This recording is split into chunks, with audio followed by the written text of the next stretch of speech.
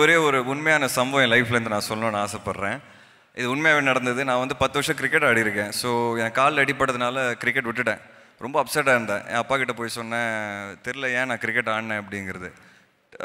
It was very painful I stop வாட்சிங் cricket cricket பார்க்குறத நிப்பாட்டிட்டேன்.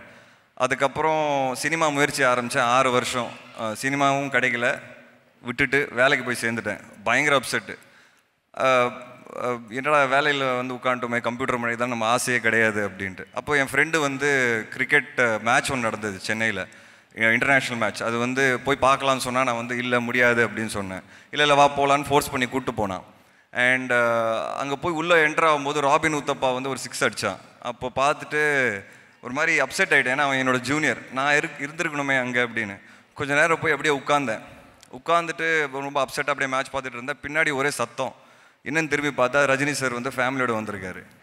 And uh, முன்னாடி பார்த்தா கிரிக்கெட் அங்கேயும் நான் ஃபெயிலியரு பின்னாடி திரும்பி பார்த்தா சினிமா அங்கேயும் நான் ஃபெயிலியர் எதுவுமே இல்லை அப்படின்னு சொல்லி அடுத்து டூ செக் டூ மினிட்ஸ் தான் இங்கேருந்து கிளம்பிட்டேன் நான். ரொம்ப அப்செட் ஆகிட்டேன் வீட்டுக்கு போய் எங்கள் அப்பா முன்னாடி அழுவ ஆரம்பிச்சிட்டேன்.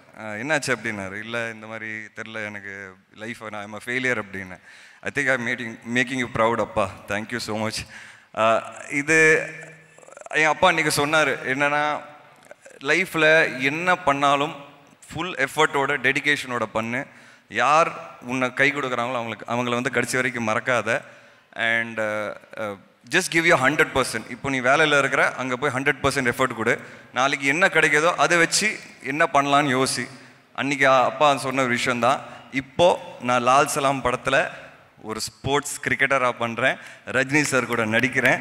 இதுக்கு மேலே எனக்கு என்ன சொல்கிறேன்னு தெரில I'm thankful to everyone. Thank you so much.